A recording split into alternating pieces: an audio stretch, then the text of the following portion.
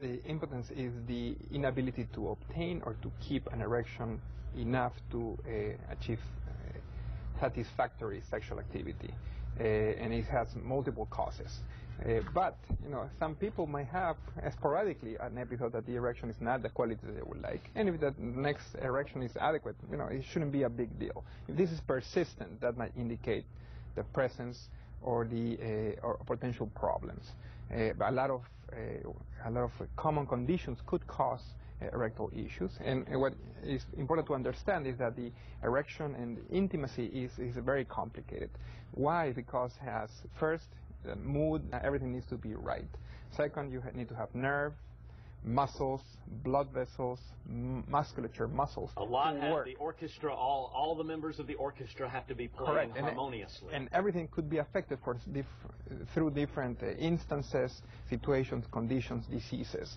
So it is important that ED, if it's persistent, has to be uh, evaluated because it could precede multiple uh, things for the future. Like what uh, some studies have shown that erectile dysfunction could precede three to five years from a heart attack and myocardial infarction.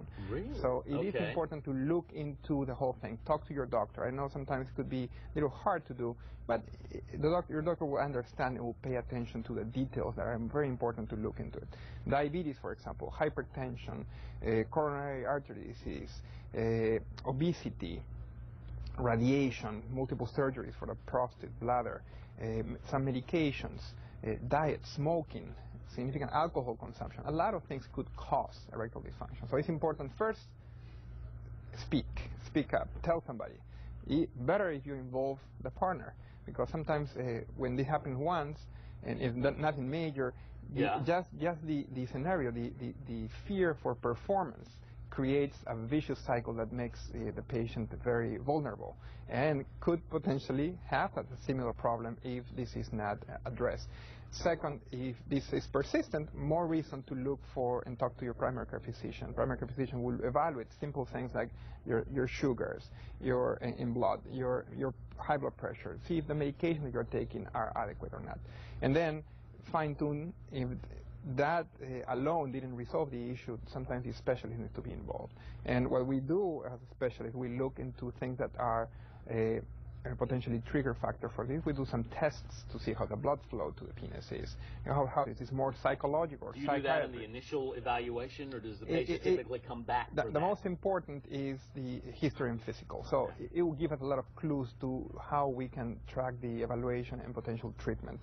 And for treatment, treatment are very effective. Once you find the cause, once you, there's staged uh, uh, approach treatments that actually most of the time we can get an adequate erection uh, from a very simple medication orally to injections, to vacuum, to implants. You know, there's a lot of things that we can do, uh, usually on a step stepwise approach, and actually it's very successful. Well, we see all the commercials in the magazine ads for the for the different pills for this and that. Is that part of that what you incorporate not, into not this? necessarily, because no? a lot of these things that you see on online yeah. or or on, on magazines, they are just a, a mixture of different components oh, of uh, okay. uh, tablets, roots, uh, and sometimes they are not standardized. We don't know exactly what is in those medications. Sometimes uh, we recommend not to take them unless we we know the, what the components are. I have patients that bring this to my office. I look at it.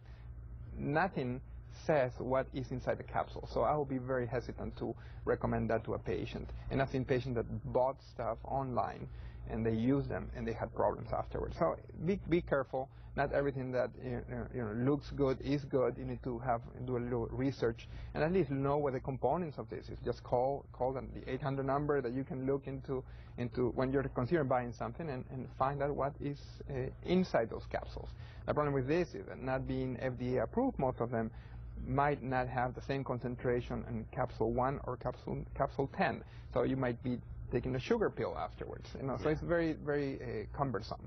So it's better not to buy these, or unless you have, you know, it's a reputable place, or you know what is in the tablets, yeah. and you need to trust them that they put the same on each tablet. So it's, it's, it's complicated. It, it is complicated, and it's something that, uh, that that if this is something you want to talk about, would want to sit down with, uh, with Alejandro. What is important is talk talk to somebody, involve your partner, uh, usually that's uh, the recipe for success.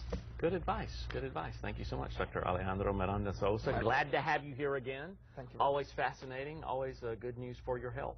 If you have any questions for him or about Gulfstream Urology or 21st Century Oncology, go to our website. That's Fox 4 Morning Blend.